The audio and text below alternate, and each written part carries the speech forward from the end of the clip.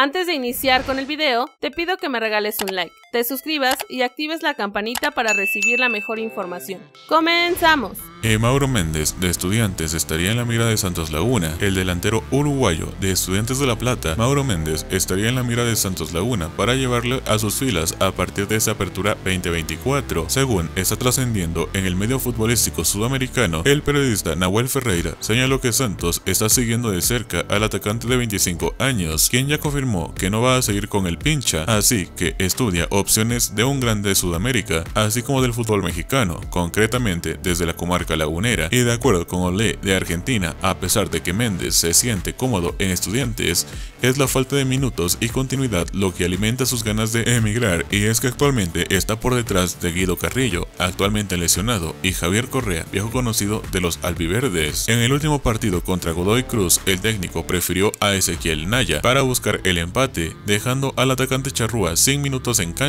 Méndez fue titular en solo 8 partidos en lo que va del año y completó los 90 minutos en una sola ocasión por la Copa Argentina contra Argentino de Monte Maíz, donde anotó dos goles. Ya en la liga profesional, el Charrúa jugó 86 minutos en tres partidos y fue titular solo en uno, donde anotó y contribuyó en la victoria ante Tigre. Ole señala que el representante de Méndez estaría evaluando opciones tanto en el país como en el extranjero, y aunque algunos equipos argentinos mostraron interés, la prioridad parece ser una transferencia internacional con posibles destinos en México, donde ya se citó a Santos, donde tendrá la posibilidad de expresar más aún sus cualidades de goleador. Por otro lado, Carlos Acevedo responde tras su llamado y deja recado a Malagón. Después de una inesperada lesión, Carlos Acevedo tomará el lugar de Luis Ángel Malagón, convocatoria que lo tomó por sorpresa, pues según sus palabras previo a reunirse con la selección mexicana, él se estaba bañando. El portero de Santos Laguna espera aportar a la selección de México, pues sabe que puede pelear un lugar a Julio González o el tal Rangel, hecho que podría no ser factible ante Brasil, pero sí en Copa América. Hablando con David Espinosa, reportero de Fox Sports, Carlos Acevedo habló antes de viajar para reunirse con la selección mexicana, donde argumentó que esperan lo mejor para el meta del América y lo que pueda sumar al equipo de Jaime Lozano. Muy contento, obviamente por la convocatoria. Primero que nada, desearle la mayor recuperación a Ángel. Y como comentabas, hace un año estaba saliendo de la selección por una lesión. Estoy regresando y como lo comentas, vengo a aportar liderazgo y cosas positivas que tengo y luchar por un puesto, comentó. Acevedo sabe que habrá presión, tanto en él como en el equipo en general, pero no se va a dejar desconcentrar y espera que México haga un buen papel en la Copa América. Hoy vengo yo en un afán de transmitir cosas positivas, de trabajar y luchar, ser esa persona que conoce en la selección. Santos, la gente va a estar pendiente, hemos trabajado, ha sido un año complicado, pero hoy estoy contento de estar aquí, de representar a México, a la Laguna, y muy contento, dijo. Ya por último, Santos barajea opciones para reforzar al centro de la cancha, pese a que en el campeonato del Santos Laguna no paran las malas noticias por bajas por lesión, selección y jugadores que Nacho Ambriz quería como refuerzos, el optimismo sigue siendo el mismo para el nuevo torneo de la Liga MX. Ismael Gobea, defensa de los guerreros, señaló que ya son un mejor equipo después de lo visto en el clausura 2024 y confía en que llegarán de la mejor manera al arranque de la apertura. Poco a poco nos vamos adaptando a todo lo que el profe nos pide, tanto en los aspectos defensivos como ofensivos. El equipo ha mejorado bastante, el equipo lo va ir mostrando poco a poco para llegar al inicio del torneo de la mejor manera, mencionó Gobea. Estamos en un porcentaje ya muy alto, llegando a tope después de estos entrenamientos que hemos tenido triples en la semana. El equipo se ha mostrado bien, lo veo muy bien mentalmente, tácticamente, comprometido con alta intensidad en los trabajos.